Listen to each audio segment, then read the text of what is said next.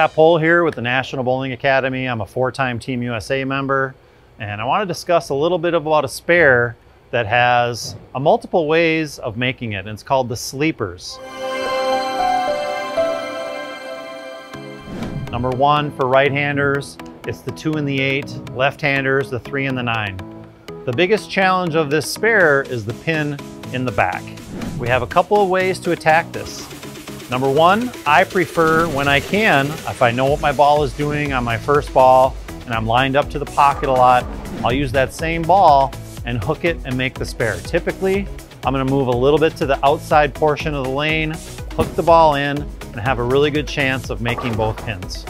Some people feel they would rather throw more of a straight shot, more of a direct line to the ball. And how we do that, typically we're gonna move in an area where we're gonna use more of the middle arrow we're gonna flatten our hand out. You can use either your plastic ball or your hook ball and throw it very straight and still hit both pins. Now another spare that comes up is the bucket, or we call the 2458. This one's even more challenging. I would recommend the same philosophy, whichever way you feel is better for you.